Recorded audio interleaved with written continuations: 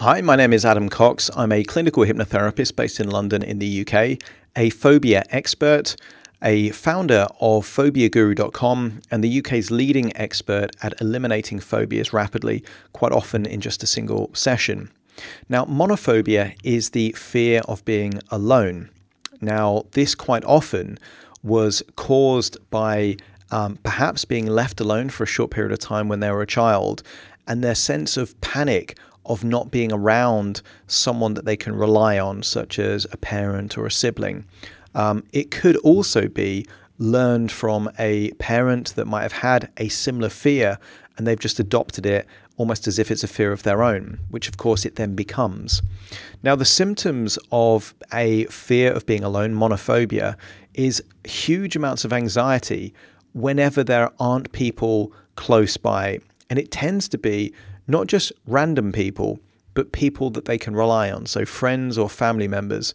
Um, if people are in a crowd of people, but they don't know any anybody, that can also still make them feel alone. Um, so it's normally people that they can trust or rely on or already know. And quite often that creates feelings of dependency where people tend to stay uh, around people um, because there is this anxiety whenever they have this uh, feeling of separation. And you see this with um, sometimes dogs, for example, they get separation anxiety.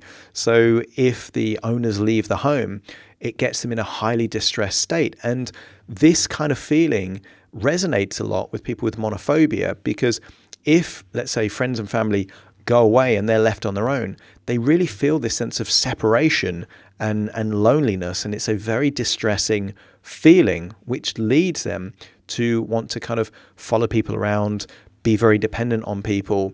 And the implications of this later on in life is that when they reach adulthood, they can find it very difficult um, to go to places like studying in a different city, for example, or moving out and living on their own because their association is a feeling of anxiety or abandonment or a feeling of distress or separation. And they're all very, very unpleasant um, feelings. So the coping strategy is to avoid those feelings by being in close proximity. Now, technology can help with this because for some people, um, it might lead them to phone people or do video chats on a frequent basis.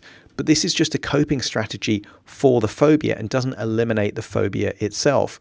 The key to eliminating the phobia itself is to get to the root cause and to create new neural associations so that there is a new evaluation as to what it means to be alone. And sometimes there's certain hypnotic protocols that I do to actually highlight what it would mean to be truly alone and to have this ability to reframe what loneliness is and what connection is and how to create new connections.